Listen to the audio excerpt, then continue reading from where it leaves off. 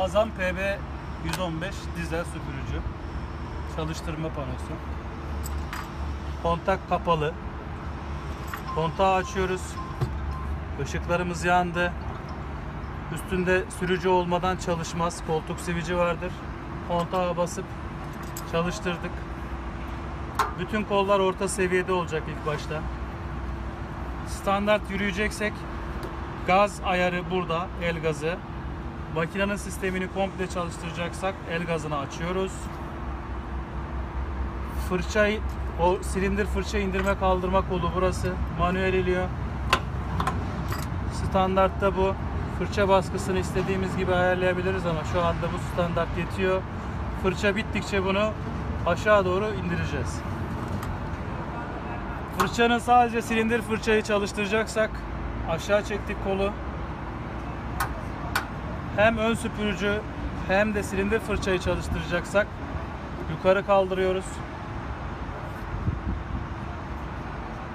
Çöp boşaltma kolu yukarı doğru kaldırdığımız zaman burada açma kapama işareti var. Kazanın kapağını açıp kapatıyoruz ki çöp kaldırırken dökülmesin.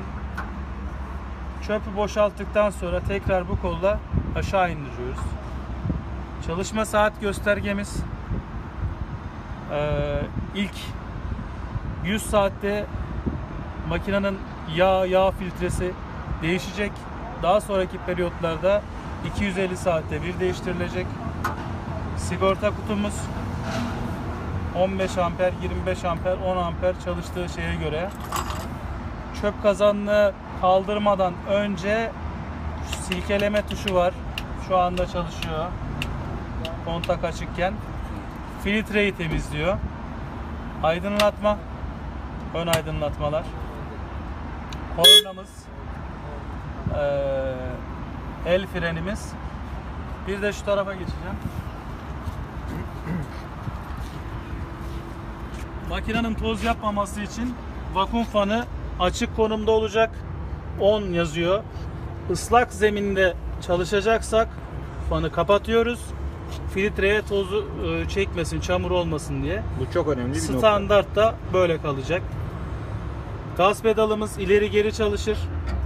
İleri bastığınız zaman ileri, geri bastığınız zaman geri gider. El freni burada. Bu da ayak frenimiz. Tabi bunun altında koltuk sivicimiz var. Motoru da gösterelim. Hidrolik yağ depomuz şu karşıya geçersen Burada hidrolik yağ seviyesi var. Alt çubuğun altına düşmeyecek.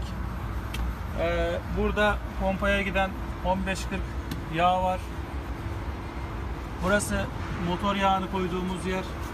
Şurada gördüğünüz yer yağ çubuğu. Burada. Filtre. Bataryamız. Sigortamız. Fırçaların ve e, şeylerin roleleri. Hidrolik filtreler, e, filtrelerin temizlik süreleri yaklaşık 2000 saati buluyor. Onlara kullanıcının müdahale etmesi gerekiyor. Burada motor hava filtresi var. Günlük temizlenmesi gerekiyor. Burada gördüğünüz gibi. Bunu komple çıkarıyorsunuz. Her ikisi de çıkıyor. Biz şimdi çıkarmayacağız.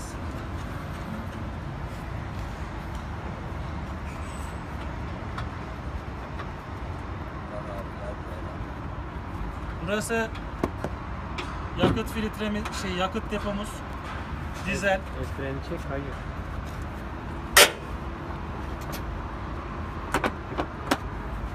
Burayı iyice oturtacağız arkadaşlar. Hava filtresi çok önemli.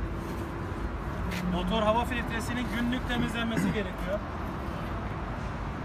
Burası da süpürge filtremiz. HEPA filtre. Bu gördüğünüz yerde de vakum fanımız var. Yavaş.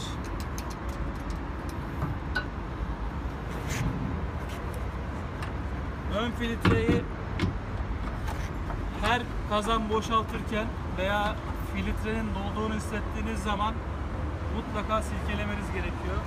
Turbo filtre yani motor filtresinden hortum geliyor. Buraya hava filtresine, motor hava filtresine geliyor. Burada başka kontrol edeceğimiz bir nokta yok. Makine aşırı toz atmaya başladığı zaman çevre lastiklerini kontrol edeceğiz. Fırça çevre lastiklerini.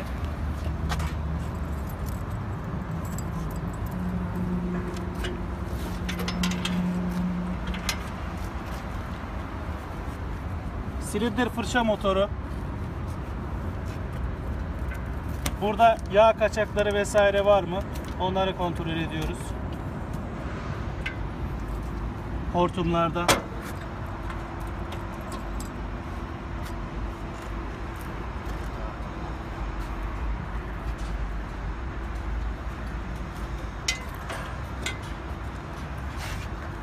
Burayı söktüğümüz zaman silindir fırçayı çıkarıyoruz. Orta fırçayı.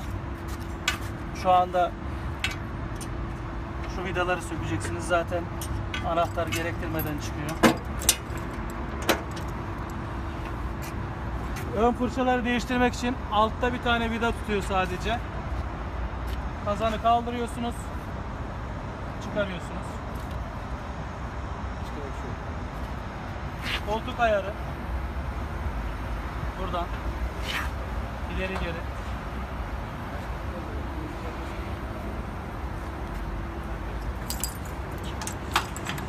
Çalışma saat göstergemiz. Bunu tekrar söylüyorum. 250 saatte bir makinenin periyodik bakımlarının yapılması gerekiyor. Burada en önemlisi şu klepenin açılıp kapanması.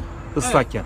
Evet, Yoksa- ıslakken kapalı olacak. Kapanmadığı zaman Kapanmadığı zaman ön filtre çamur olacağı için filtreyi değiştirmek zorunda filtre kalıyoruz. işlevini yitirir Aynen ve öyle. filtreyi değiştirmek durumunda kalacaktır. Normalde 5 yıl kullanacağınız filtreyi ilk e, ıslak çekmeden sonra çöpe atmak zorunda kalırsınız. Evet. Anlatacaklarımız bu kadar. İyi çalışmalar. Thank you very much.